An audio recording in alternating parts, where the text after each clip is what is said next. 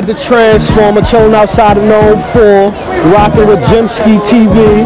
That's my favorite white girl right there. I love you. O Red in the building, Jersey.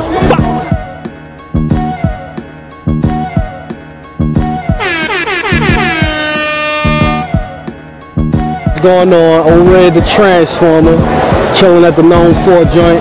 Irving Plaza just seen a super dope event. Feel me? We got a few battles coming up, you already know. Gemski, what's going on?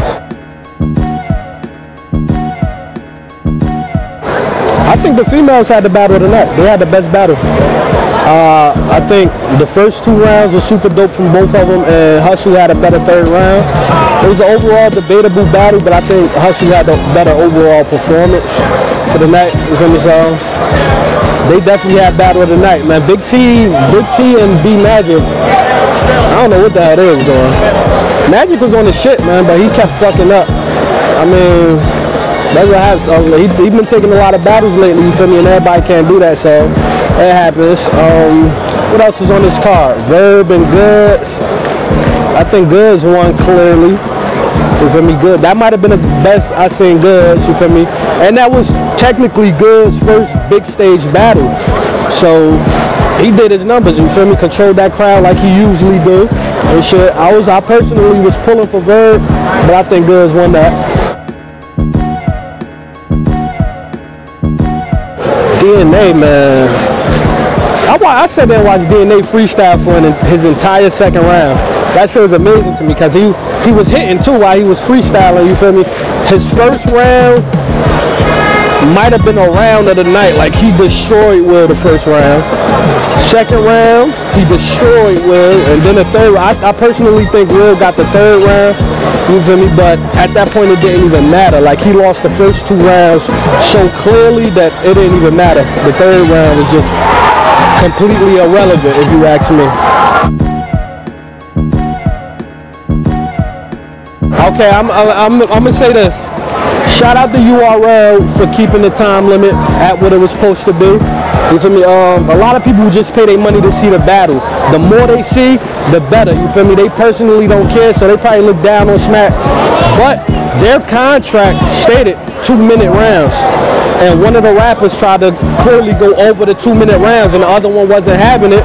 So Smack had to abide by those rules, you feel me? It was legally bonded, you feel me? And shout out to URL for handling business like that. A lot of people gonna look down on them for it, but they did exactly what they were supposed to do, which was hold the rounds to two minutes. I can't knock them for being strict. It was a contract. Contracts are strict. I know us as fans, I'm a fan of this shit too. Want to see more content, but at the end of the day, what's on that paper and what's locked in is what's locked in. There's nothing they can do about that. URL's not trying to get sued, Exactly. That's what happens. Yeah, that that could that could damage them more than any type of fake bad rep because and I call it fake bad rep because I don't think this should be a negative shot taken towards them. I think they did exactly what they were supposed to do as a company. So to avoid, I mean, what did y'all? They they could have risked it, and nine times out of ten they would have got sued by one of the artists probably, and the battle would have never hit YouTube.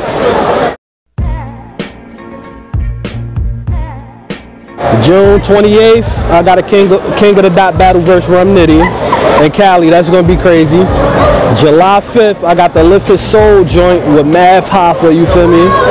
Definitely main event. That's the that one right there, the bread one. Like I said, man, me and Math got some things to talk about. You feel me? I think uh, if you in the New York area, if you ain't got your tickets yet, def- definitely get your tickets, man. Shout out to ARP and them too. You feel me? The whole RBE movement. I love how they do business and all that. Um, definitely, if you ain't got your tickets for Lift His Soul, make sure you get those.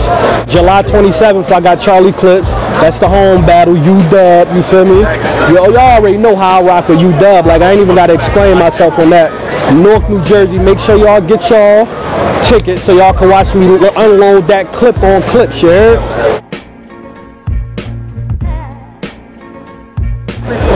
Talent wise, or I should say bar wise, Rum Nitty.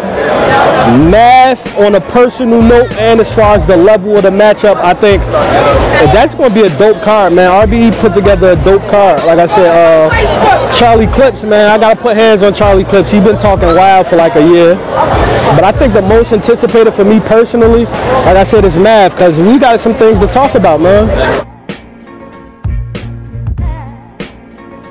It ain't nothing big. It's just the fact that he really thinks he could beat me, I take that personal, man. Um, and it's not it's not a camera thing. Like he pulled me to the side and said this. You feel me? So that's why, like I said, it's a personal note. Me and Math, cool. Math, watch me.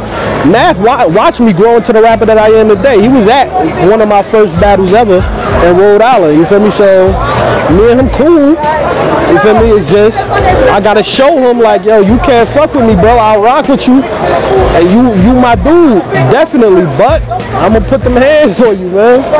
And I don't want people to expect no fake tough shit. You feel me? That's not me. I'm myself. Every battle, I do what I do.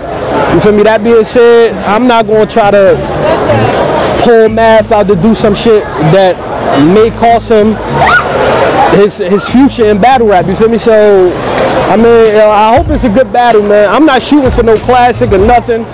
I know y'all want to see a classic, but I'm shooting for a body bag, man. You already know.